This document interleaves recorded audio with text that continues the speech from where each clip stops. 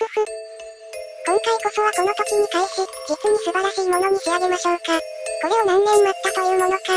私は長年に背けられてきた素晴らしいパーティーに寂しがり、それを何年も待ってきたの。でももうそろそろ耐えられないですわ。だからこの時を逃してはいけないこと。楽しい楽しいパーティーは終わることを知らず、どんだけ満足に行こうが、それを終わるわけでは決してならない。永遠に楽しいひとときにしないと意味がないからなの。最高のパーティーにするには終わりなんて言ったら、おしまいですわ。ま、吸血鬼の血が騒ぐ今日のこの頃は絶対に絶対に忘れてはならない。だから絶対にそのパーティーを開催させないとならないの。これは私の使命なのだから。そうですわ。私だけ一人で準備なんてするなんてとっても寂しいじゃない。だったら、他に人を誘拐し、それを手伝わせれば寂しくもない。良い考えですわ。ふっふっふ。それなら今夜のディナーのおかずとなる素敵で素晴らしい素材を集めてこないとね。早くしないと、早くしないと、売り切れちゃうよー。間限定のサインチッチが入った限定版がなくなっちゃうから、早くしないとなくなってしまうもう、なんで私の家から遠いのよ本屋、もっと近くにあってもいい話なのに。って、こんな話している場合じゃないわ、さっさと行かなきゃ。もうなくなってるじゃない私の駆け足が遅かったのが原因そそんなことないよ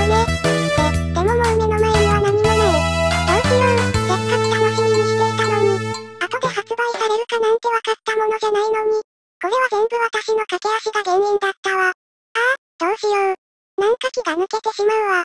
ふふ。亡くなってしまって悲しんでいるそこの悲劇のお嬢様。私がさらなる希望をあなたに授けましょうか。え。だ、誰なの？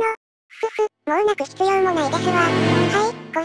あなたのお望みであったものでしょう。この私が用意してきました。あ、それは私が求めていた本じゃないですか。って、なんで見知らぬあなたが持っておられるんですか？それになんで私のことを知っているの？なに、んな心配をかける必要なんてないわ。これがさぞ、欲しかったのでしょそのために私はしっかりと用意させていただきました。どうぞ、お受け取りください。あ、ありがとうございます。その代わりに、私のパーティーのお手伝いをしてもらえないかしら。人手が少なくてさ。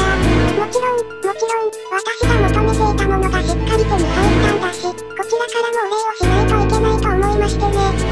ふふ、なんていい子なのかしら。ではでは、私が直々にお連れしますわね。そ、そういえば名前を聞いてなかったんですけど、なんて言います私はサラと言いますけど、私は町外れの湖畔にある洋館に住んでいる吸血鬼の霊獣のくるみであります。ではでは自己紹介は後で。まずはそこにお連れしていきましょう。わーい、楽しみ楽しみ。ふふふ、それでいいんだよ。素敵な素材ちゃん。着いたわよ。見て見て、ここが私のお屋敷なので。元はボロボロでしたが、なんとか綺麗にしました。この中でパーティーの準備を手伝ってもらいましょうか。わあ、すっごく素敵こんな素敵なお屋敷で過ごしているなんて羨ましいわ。私もこんなところで住んでみたい。でしょでしょ、来る人、ウィーンなそういうの。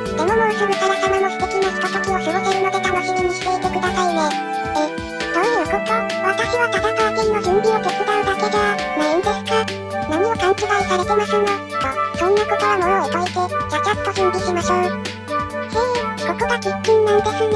でもなんだか暗くないですかなんで明るくしてないんですかこれは私の趣味なんですよ。でも気にせず準備しましょうか。ふふ、変なところを気づかれちゃったかな。楽しいパーティーができるといいですよね。お肉、ウイスキー、チーズ、クラッカー。あとはパーティーに必要なプレゼントとか出し物。楽しみですね。ところで、他に来られるお客さんはいるんでしょうかいないですわ。さあ、楽しみましょう。ですかこんなにたくさんパーティーの準備をしたというのに、なんで他にいないんですか？ふふ、よく気づいてくれましたね。それはそう。これはロイヤルライブをするためですから。ロイヤルライブ。そ、それは何なんですか？ふっふっふ。私はずっとずっとずっと待ちかねていたのです。このロイヤルライブをするためにずっと待っていた。そしてサラ様という素敵な方に準備を手伝ってもらいました。それにはとっても感謝しております。そう、今日のディナーはとっても美味しくするためにパーティーを開き、歌って踊るだけではなく、豪快に楽しまないということがわかっているんです。ふふ、言うまでもなくあれですからね。そのサラ様の体に詰まった血はとっても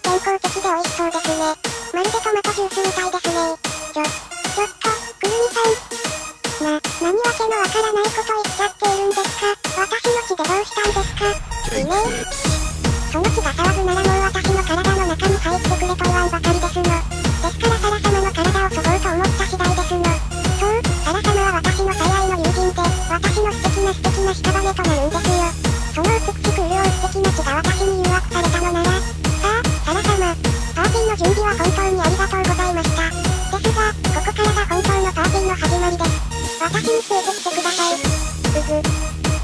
く、くるみさんは、私急に用事を思い出しました。パーティーの最中にこんなこと。すみません、もう私帰りますので、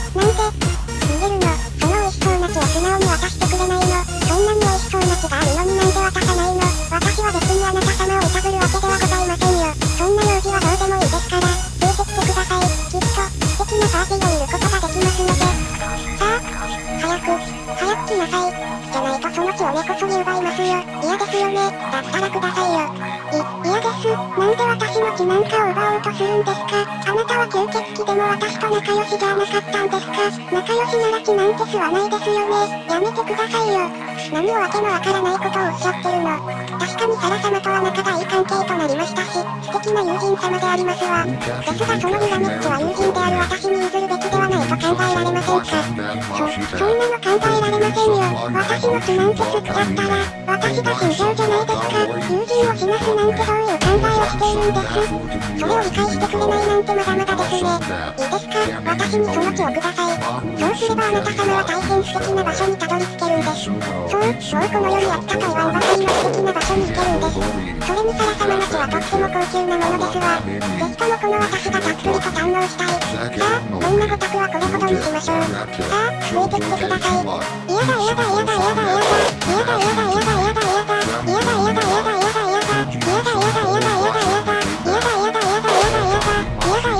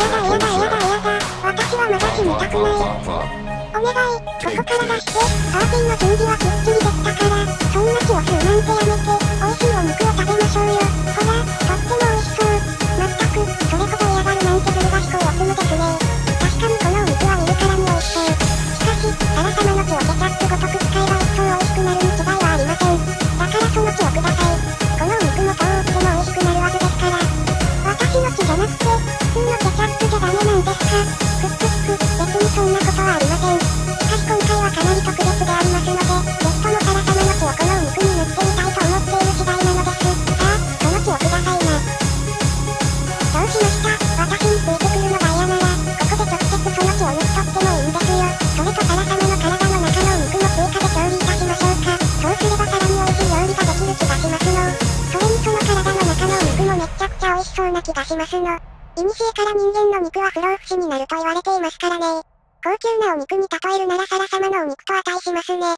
さあこっちに来てくださいよ。今すぐその血とお肉を抜き取ってあげます。さあ、そんな服を全部脱いで、こっちに横たわりましょう。抵抗できないように手足には手錠をしてもらいますから。そしたらじっくり調理を進めていきますね。何しているんですか？早くその服を全部脱いでください。それかこの私が脱がしてあげましょうか。ねえ、早くしてくださいよ。パーティーが始まらないじゃないですか。ねえ、早く、早く。ふっふっふ、我慢してくださいね。今すぐその美味しい血を採取し、体からサラ様の素敵なお肉を全部抜き取ってあげますからね。うっふっふふっふっふっふ